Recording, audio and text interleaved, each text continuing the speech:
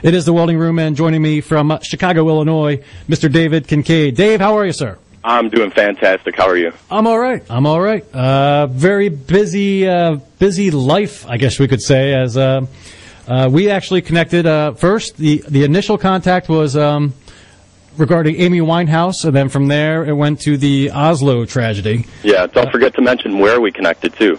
Oh boy, here we go. Facebook, the Yep. so, the social network. We're Yeah. BFFs now, you and me. We are, we are, and, and the whole world could see it. Yeah. you know, it's funny you mentioned that because uh, like two weeks ago, I finally saw the social network, and it gave me a whole new appreciation of the whole, uh, you know, social network. You know, I, I couldn't. I couldn't even stomach my, my way like through half of that film. It was just too much for me. yeah, Uh, yeah, those two twins. It made me want to blow my brains out the whole time. So they. Uh, yeah, I don't know. Not my kind of flick. no, But uh, no, no. But I think we all know those two twins somewhere. We all, I have the scarves, the matching scarves here at home. So there you go. There's a word for it. I, I don't know what it is, yeah. but we probably can't say it on the radio. Yeah, that that's for sure. That's for sure. Uh, but uh, you know, switching switching into uh, what we actually uh, did connect on was the uh, the Oslo uh, tragedy. Yeah, it was sad. Uh, very sad, very sad, and it, it seems like these kind of uh, things are popping up more and more frequently all over the world. You know, I mean, Oslo would be probably the last place on earth that you would think it would happen. I know that's what I, I- that's what I've been saying. It's like I don't get it. The whole, you know, I moved there a couple of months ago um, to be with the band, and unfortunately, some immigration problems happened for me to where you pretty much need to be like Donald Trump in order to live in Oslo, Norway, which is completely understandable. But it was just a pain. I shipped my drums there, blah blah blah. I'm back, but my time that I was in Oslo, I learned the whole city. You know, I was walking like 10 miles a day, and it's it's actually a really cool place to live. It's there's something about it that's just so wow, you know. Yeah, And I would have never have expected something like this to. Ha- it's like Norway's 9/11, yeah, and it- when I first saw it on TV, it was strange because I recognized the like the area, and I looked uh, on uh, looked it up on Google Earth, and it was like five minutes walking from my apartment. You know, and I, I got in touch with some of my friends on Facebook, and there's this one girl who works in an office right down there. She's like a block away from it. She's like, "Yeah, I was sitting there, and all of a sudden our windows blew out."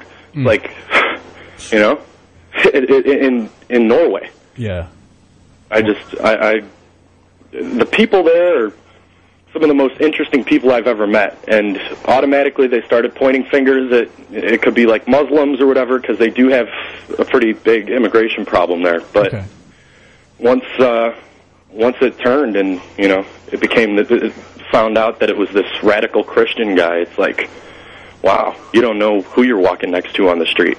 Absolutely, absolutely, and now and now, like uh, you know, we have just mentioned, it's it's a global thing. You know, it used to be, uh, you know, just um, you know, if he's Arab, you know, this profiling, this whole profiling uh, segment where it's you know. Uh, if they're of a certain color, if they're a certain religion, then you can profile, and you know they're the bad guys. But now it's uh, it's everybody. Yeah, it just it doesn't matter, you know. What's next? Antarctica.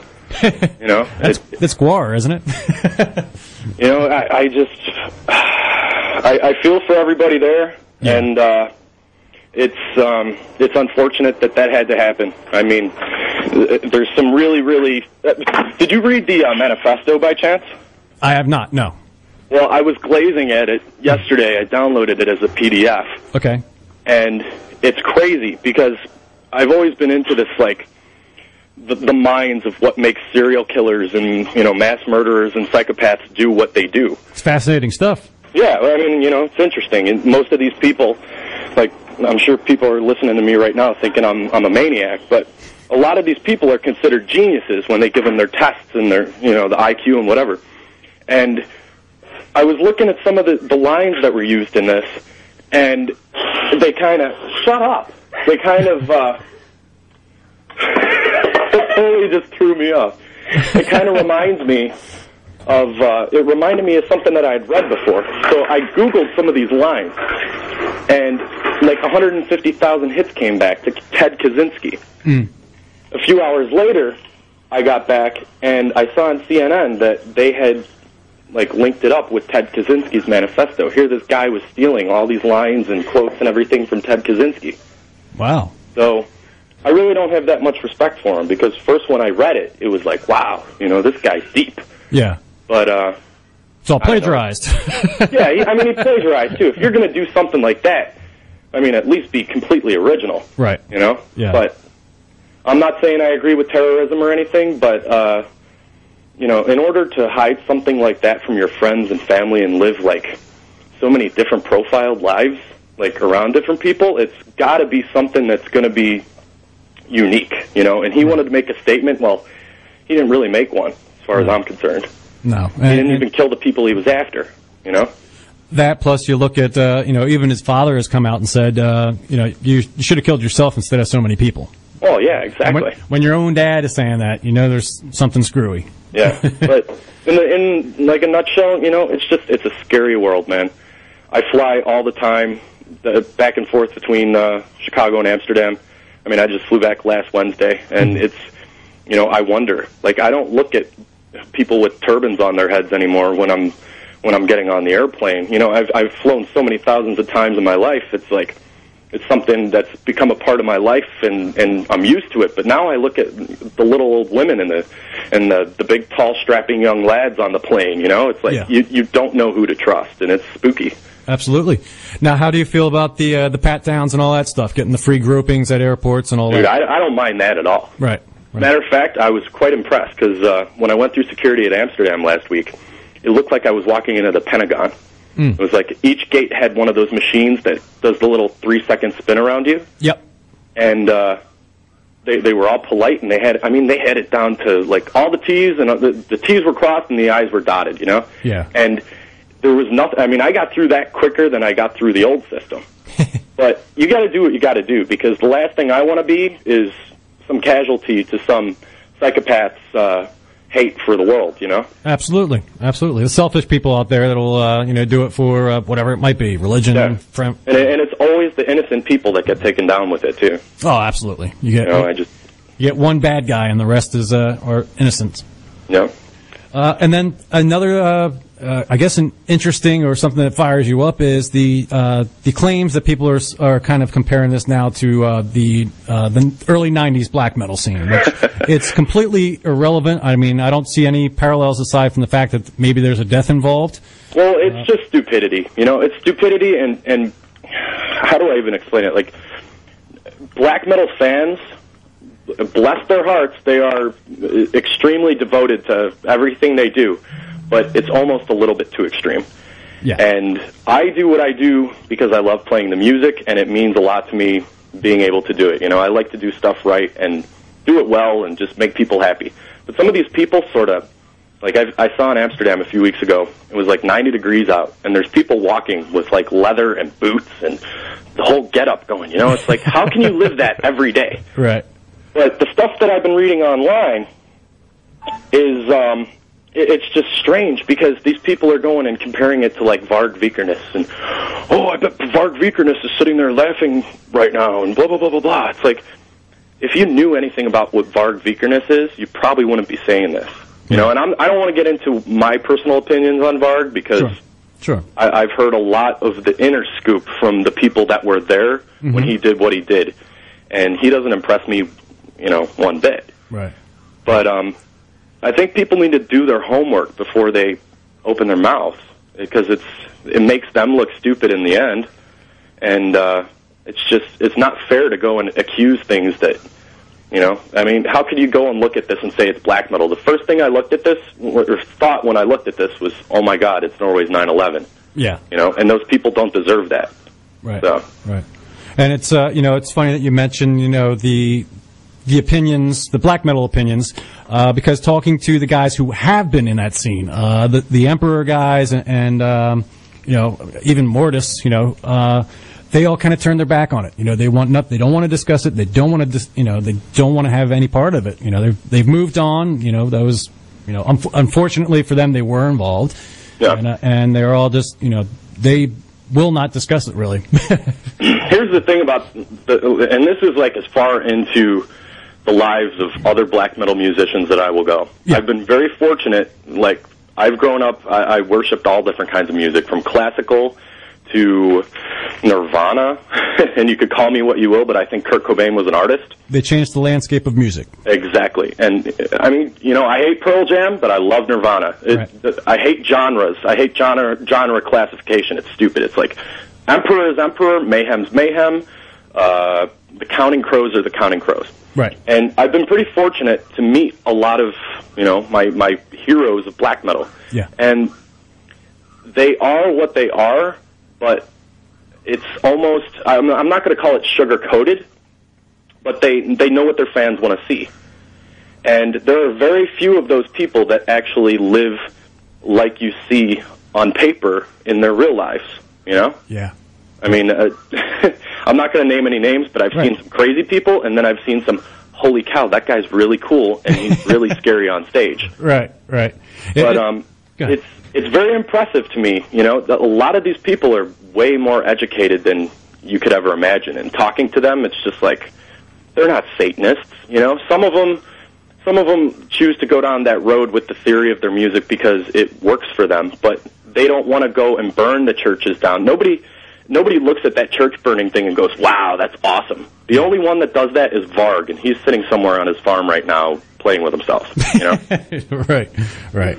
And especially, you know, I mean, for, for for the reasons that it's a historical site, and if you think it's cool to, you know, burn down or, you know, in, in Well, any- exactly. I mean, uh, uh, the people that I know, the the normal people that I know, they have, they're very proud of their roots. They're very proud of their country.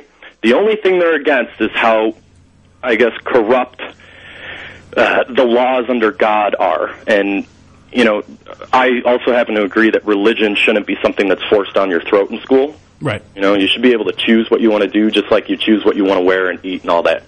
But um, these people, they don't live that. They might, some of them might sing about, you know, burn the churches, kill the Christians, blah blah blah blah blah blah blah. But they are very very humble and and proud people, and it's it's not a gimmick, but it's more like, you know, what was back then isn't what we are necessarily now. We might have made mistakes when we were kids, but you know, it worked and we grew as people. right. So, And it's, uh, you know, kind of bringing this whole thing together is, uh, like you had mentioned, you know, the person on stage is very different from the person behind stage, you know, and I, yeah, I, I mean, in in no way are they fake. Right, I mean, right. like the lead guy in Borknagar, uh, Oystein. Mm-hmm. Perfect example. He's one of the, the smartest, down to earth people that I've ever met, but he's also very to himself, and he he's not like obnoxious and loud like I am. He's very he's very protective of his music, and he wants the best for it. Right. And if you look at the life that he lives, like with his family in Bergen, which is one of the most beautiful places on the planet I've ever been to, you know, huge mountains and fjords all over the place, and it's like, it's epic, you know? And we drove there on Easter Sunday um, from Oslo to Bergen. It's like an eight hour drive. And the whole time, my pants were just getting tighter and tighter and tighter over the scenery. And, you know, it was just, I, I what his music is, is what he was raised around and how he how he lives his life and he puts it all into it and a lot of those bands there it's like you know maybe 5 to 10% of them actually do that right, right. so The soundtrack of his life, yeah. exactly and that that's exactly the perfect way to put it i mean i i have nothing but respect for people that really pursue their art and take it to the the next level when it's real you know Absolutely, absolutely, and, and it's a funny thing because uh, from my experience, and I've been in the metal community or whatever you want to call it for uh, you know over 20 years now. Uh, metalheads are probably the funniest people you'll you'll you'll ever meet. You know, Yeah, I oh, mean, the, yeah. the, the sense of humor and you know the, it's it could have been you know who knows the geeks in high school or the nerds, which you know I would be categorized under a nerd Oh, me slash, too. nerd slash athlete and. Uh, you know, it's, just, it's these people that are just creative. They were outcasts of some sort, and they went to the outcast music, and and uh, Well, of course, yeah. I mean, you know, it's metal is a great thing, but like anything, and it, this comes, you know, with what we just talked about with the whole religious thing and the bombings and whatever. It's like if you take everything to extreme, it's going to hurt you. right, You know, and I've met a lot of metalheads that are great people and they're open mind, open minded to to new different styles of music and blah blah blah blah blah. But then I've met a lot of people that, you know, if I wear white socks on stage, and they see me playing, they're going to point at my socks and go, "He is not true." Right. You know, it's just like, come on, dude. You know, it's it's yeah, we we play music that's dark and everything, but I wake up and I smile. Right, right. You know, I smile and and do all the things that other people do. It's just you, you extremism in anything is dangerous. Yeah. And to that degree, um, you um, you still have the the Pets Foundation. The You know, that was uh I set that up one night because I got sick of looking at all these animal abuse things and whatever online and uh not seeing one for metal. And I, I tried with it really, really hard. But Okay. I've just I've been so busy these past couple of years that it's you know, it's hard to keep up with. Plus I had health problems and everything in the beginning of the year. I had to have my gallbladder taken out and you know, thought I was gonna die. tough. So I had to put some of the things on the back burner. Yeah. But- But I guess you are a, uh, a huge uh, animal uh, fan, lover. Yep, love animals, hate people. there you go. Well, you know, you feed an animal, and uh, that's your best friend. Yeah, exactly. That's super. Now, uh, getting into the, the music aspect of things, um, Borknagar is recording right now. Done recording right now. What's what's the status on on the on the band? well, we um, I went in the studio about a month, month and a half ago. Uh, I flew out to Norway and recorded drums, and that took like a week. We got like twelve or thirteen songs, and um, yeah, I mean drums are done. There's there's another special thing that's involved with this, which I can't even give a hint away because I'm under contract. But Okay. the world will know what that is in September. And I have a feeling, like we were talking about how metalheads with the socks and whatever, like if you do nothing, or if you do something that's like untrue, you're going to take a lot of slack. We're either going to take a lot of slack, or people are going to go, "Holy cow!" Okay. Okay. but um, Special indeed. Special Yeah. indeed. it's, it's just a, a little tickle the old fancy there. Yeah. But, um, we did that. Right now, guitars are being done, um, and then they're going to do vocals and all that. And uh, we're mixing and mastering with Jens Bogren in Fascination Street Studio- Studios in uh, outside Stockholm. Okay. And he did the new Devin Townsend um, deconstruction. He did some Opeth remasters. He did the new Amon Amarth, new Katatonia. The guy is a beast behind the buttons. Absolutely. Those are heavy, heavy hitters right there. Yeah. I'm sure it's not easy being in a studio with Devin. No, well, I love Devin. You know, I, I was. right. I'll admit, I was never really uh, it, it turned on by Devin Townsend music until the past couple of months. My friend, my best friend Johnny and Michelle are like diehard Devin fans, Mm-hmm. and they told me what an idiot I am because I'm so open to all different kinds of music. But whatever, I gave it a chance, and I was just blown away. That guy is a, a genius. Yeah. And he probably hates me because I bug him on Facebook all the time saying that we need to start a band together. So, Uh, he might do it. That that might be why he'd get mad because he feels like he has to. Yeah, well, he does have to start a band with me. it, it would be supreme supremacy right there. That would. That would. And that could be the uh, the replacement for strapping since he said Well, that is yeah. done. So it's not going to happen. But uh, as far as Borknagar goes, the album should be out probably like January, February of next year, Okay. and it's going to be cool because we have uh, Vintersorg singing still, and um, ICS Vortex rejoined the band a few months ago. It's official. It's official. It's official. Yeah. He's actually been in the band now probably about a year. Okay. All right. But um, we're pretty good with hiding what's going to happen. You know. Yeah. we we like to throw teasers out there to the fans and everything. But I'm very excited that he's back in. He actually wrote a song on this new album too, Okay. and uh, we tracked that probably in about three hours when I was up there, and just you know, sitting with him behind the desk, saying, "Well, I think you should play this." And okay, that take sounds great. Let's just keep it. And I would never be happy with my takes, Right. but he's just the, the guy's such a character, you know. Yeah. So I think everybody's going to be pretty, um, pretty uh, blown away by this new album. You know, I got to do what I wanted to do on it, drumming wise, which Universal. It was my intro album into uh, the the lives of the Borknagar fans, so I wanted to sort of keep it on the same terms as the last few albums, but do a little bit of my own thing. Right. But this album, I pretty much sat down the first day and said, "Look, I've studied it enough. I know what is tasteful and not tasteful, and uh, just let me let me do what I want to do. And if you don't like it, we'll delete it." And Right. I think maybe one thing got deleted, Not bad, not bad. That'll work. And uh, Bork, I guess Borknagar you could also call uh, like one of these all star bands. You know, you look at uh, you know this compilation of, of musicians that come together. I mean, for a long time there, uh, Dimmu Borgir was like that, whereas you know they just had this you know amalgamation of, of the best of the best. Yeah, you know, everybody has their own thing. It's like. Uh, some people have been in and out of Borknagar like two or three times. Uh, Mm-hmm. Dimmu's had more drummers than I've had hot meals. yes, they have. All amazing drummers, but Right, uh, right. you know, it, it's it's hard because I like seeing a band go with one drummer and evolve. Yeah. You know, but um, it- it's just. It, it, I guess Borknagar is an all-star kind of band. You know, I still consider myself the new guy, but uh, it's um, it's just it's so cool to be in that band, you know, because Yeah. there's there's no BS. You know, I've been in a lot of bands, like uh, Florida death metal bands and death metal bands from New York. I was in Arsis for like a couple of months, and uh, all very very talented musicians. But for me, Borknagar has been the best learning experience. You know. Yeah, and it's a much different feel. I mean, aside from being in a band that's you know based overseas, it's uh, I think musically much different from from uh, a lot of other things. Yeah, I mean, you know, and I'm not even I'm not even fond of some of the songs. Like Epic, the Epic album, there's like one song I like, and I tell Oystein that all the time. It's like I don't ever want to play any songs off the Epic album because it's it's just that time period when he wrote that music. It sort of seems a little bit hocus pocus to me, you know. Okay, yeah, But a lot of people love it, and more power to them. I mean, it's just it's it's all about taste, and that's the thing I like about Borknagar. It's got its ups, it's got its downs, but it's so it's so.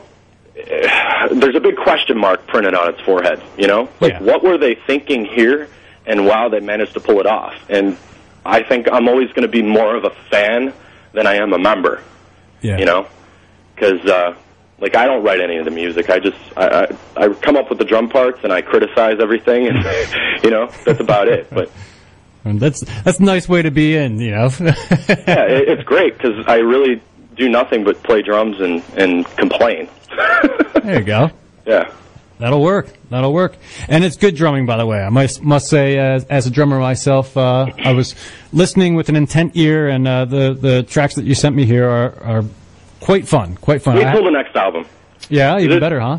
It's harder playing this stuff than it is playing the, the 260 BPM stuff, as far as I'm concerned. Like this, this stuff you got to play blast beats at like 120 BPMs. you know, so you got to sit there and actually focus on what you're doing versus, you know, burst a blood vessel. Yeah. So it's uh, it's it's hard to play, but it's fun. There's a lot of room to just open up on it and do what you want. So. Okay.